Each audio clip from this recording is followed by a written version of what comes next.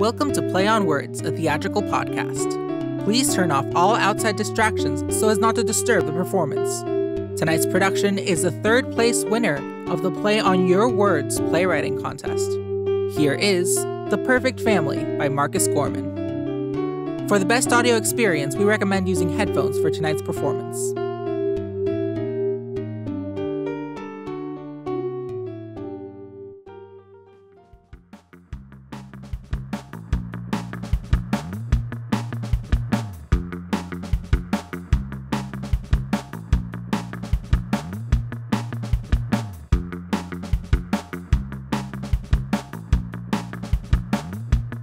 Were the perfect family.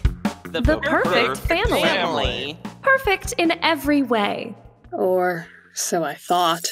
Mind your tongue, young one. Until I noticed things were terribly wrong. Nothing was wrong. You're just stupid. Am not. R2?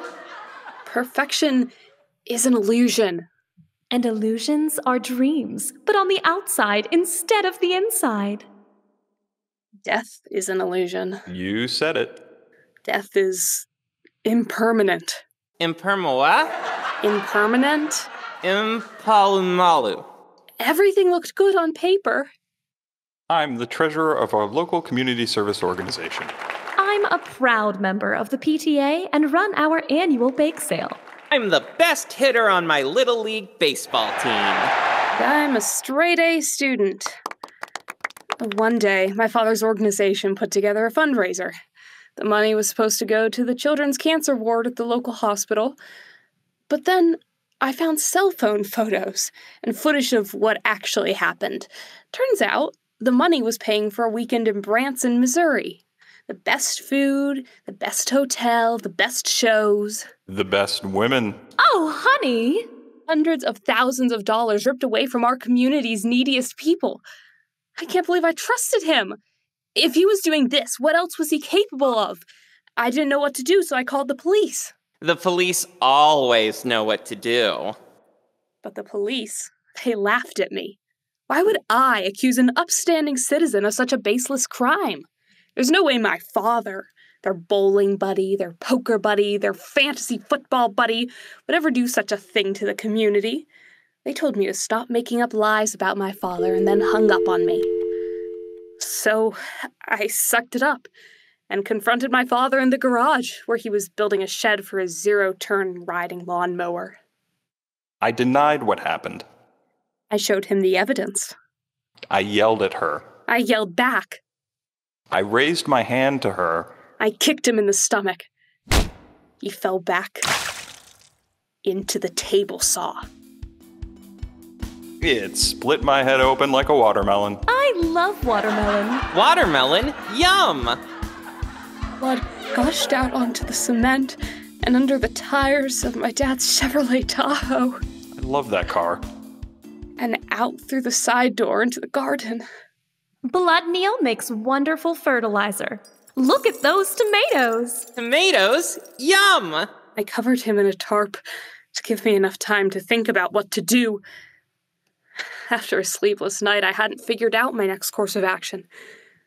But when I came down to breakfast, there he was, my father, at the kitchen table with mom and my kid sibling, eating scrambled eggs, bacon, and toast.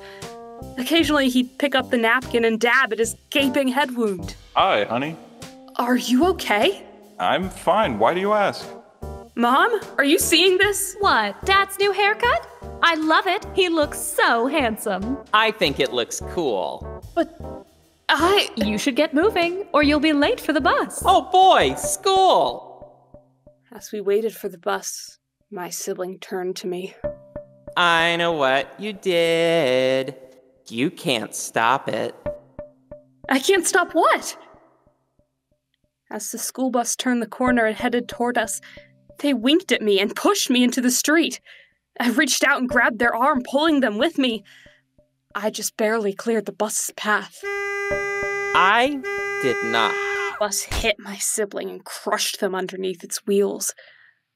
I stepped onto the bus and we got moving. But then I noticed all the kids piling up and looking out the back window. I joined them to see my sibling flat as a pancake running to catch up with us. Wait for me! Bus driver pulled over and let them in. The other children cheered, complimenting them on their new appearance. They nicknamed them Pancake Kid. Yay! Pancake Kid.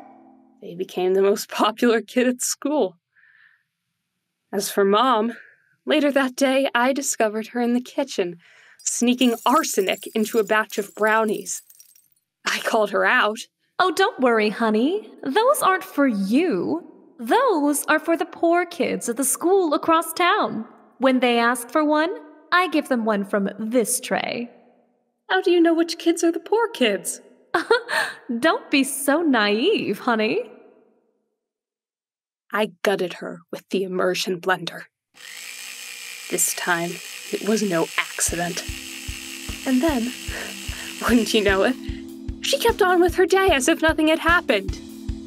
The only thing she was mad about was that she'd never be able to wear a bikini again, thanks to the gaping wound in her torso. Since then, I've tried again and again to remove my family. She drove us off a cliff. And drowned us in the river. And fed us to lions at the zoo. Rawr. She threw us off a building. And sank us in a vat full of acid. And blew us up. Kaboom! But they kept coming back. Can't keep a good family down. Can't get rid of us that easy. Nuh-uh. I tried to leave, but where would I go? What would I do? And where would I get the money?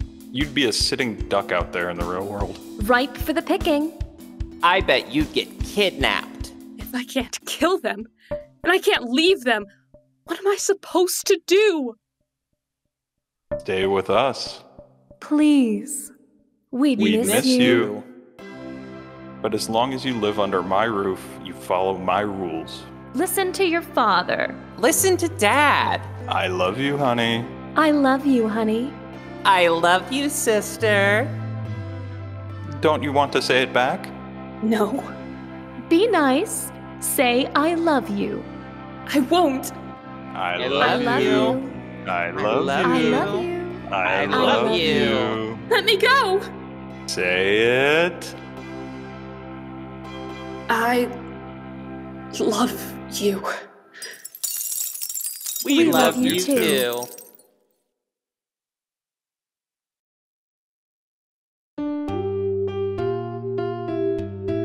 This has been The Perfect Family by Marcus Gorman. Directed by Mackenzie L. Martin. Sound designed by Anthony Del Grosso, Bri Small, and Lune. Stage managed by Soren de-Niz.